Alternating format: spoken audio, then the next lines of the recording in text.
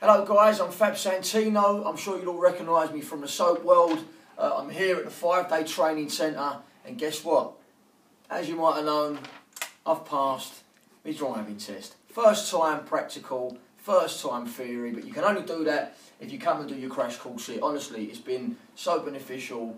Um, you know, the guys have been great. They're, they're, they're, really sort of like they're on you. Do you know what I mean? And, and you know, you're a, you know, if, if you study and you work hard and you do your work, it'll be a guaranteed pass. Honestly, it's worked for me. It can work for you. I'm over the moon. I'm chuffed. I've had a great instructor, Alan, who's filming right now.